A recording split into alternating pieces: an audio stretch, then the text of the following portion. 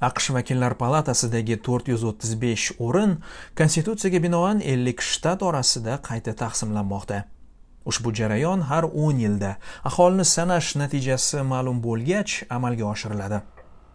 2020 yilda o'tkazilgan so'rov pandemiya sabab biroz kechikdi ammo natijalar ayon.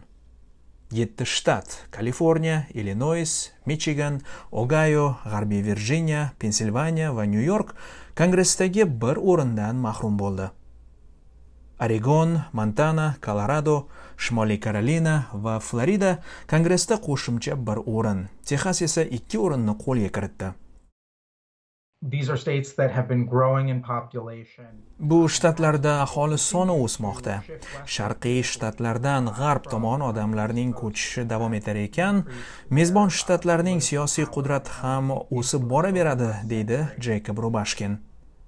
U Inside Elections veb-sayti uchun saylov poygalarini kuzatib, tahlil qiladi.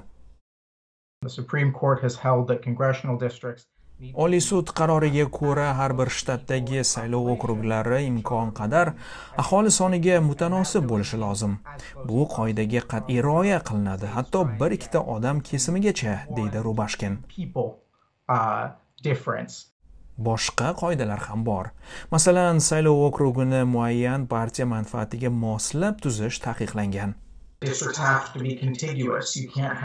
Qonunchilikda okrug yaxlit bo'lishi talab qilinadi. Uning sarhadlari bir hududda to'satdan tugab, boshqa bir joyda paydo bo'la olmaydi. Ovoz berish to'g'risidagi federal qonun ham bor. Unda ozchilikdagi guruhlar vakilini o'z jamoasidan saylashi kerakligi belgilangan deydi suhbatdosh. Okrug sarhadlarini o'zgartirish shtat qonunchilik organlariga bog'liq. Hozirda ularning aksariyatini respublikachilar nazorat qiladi. Jumladan, Kongressda qo'shimcha o'rinlarni qo'lga kiritgan uch shtatda. Aholini sanash va o'rinlarni qayta taqsimlash jarayonining ilk natijalarini ko'rib turibmiz, ammo bir qancha savollar ochiq qolmoqda. 2022 yildagi oraliq saylovlargacha manzara ancha oydinlashadi deydi Rubashkin. Shohruh Hamro Amerika ovozi uchun.